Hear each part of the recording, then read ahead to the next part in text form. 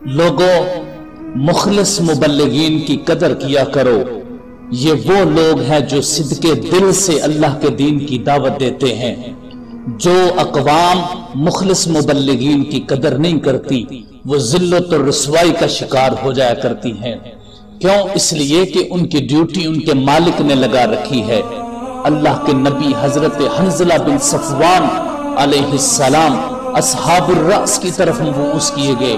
آپ نے جب اس قوم کو دعوت دی تو انہوں نے آپ کو نہ صرف جھٹلایا بلکہ اٹھا کر کنویں میں پھینک دیا۔ جس وقت اس کنویں میں پھینکا جہاں سے وہ پانی پیتے تھے، اللہ نے وہ سارا پانی خشک کر دیا۔ آہستہ آہستہ درخت سوکھنے لگ پڑے اور وہ قوم جو آباد تھی، وہ ہلاک ہونے لگی۔ یہاں تک کہ وہ قوم تباہ و برباد ہو گئی۔ جس نے بھی مخلص مبلغین کی مخالفت کی اور صدقے دل سے دعوت دینے والوں کی، مخالفت کی، وہ لوگ کبھی کامیاب نہیں ہوئے۔ آج ہماری مملکتوں میں مخلصین، مخلص مبلغین کی قدر بہت کم ہوتی چلی جا رہی ہے۔ ان انتاکیہ کا بادشاہ تچیخس، وہ بھی اور اس کی قوم بھی بتوں کی پوجا کیا کرتی تھی۔ اور وہ بتوں کی عبادت میں مشغول رہا کرتی تھی۔ اس قوم کی طرف اللہ رب العزت نے اپنے تین رسولوں کو بھیجا، ایک صادق، ایک مصدوق اور ایک شلوم۔ ان لوگوں نے جب دین کی دعوت دی، تو اس قوم نے ان کو جھٹلایا۔ اللہ رب العزت نے اس کے بدلے میں ان کو نیست و نابود کر دیا۔ اسی طرح حضرت یونس علیہ السلام کو اہل نینوا کی طرف بھیجا۔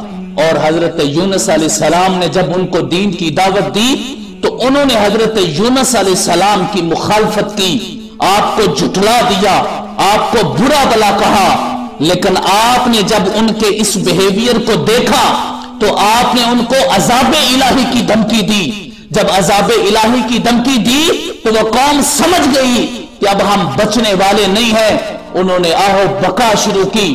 چیخو پکارنا شروع کر دیا اور کہا کہ اے اللہ ہمیں معاف فرما دے۔ ہم تیرے نبی یونس علیہ السلام پر ایمان لے کے آتے ہیں۔ جس وقت وہ حضرت یونس علیہ السلام پر ایمان لے کر آئے تو اللہ تعالیٰ نے ان کو معافی دی اور یہ فرمایا کہ ہم نے قوم میں یونس کو جب وہ ایمان لے کر آئے تو ہم نے ان سے عذاب کو دور کر دیا۔ جن اقوام میں مخلص مبلغین کی قدر ہوا کرتی ہے، وہ اقوام عروج اور بلندی کی آخری حدوں کو چھوتی ہے۔ لیکن جو اقوام ان کی قدر نہیں کرتی، وہ ذلت و رسوائی کا شکار ہو جایا کرتی ہیں۔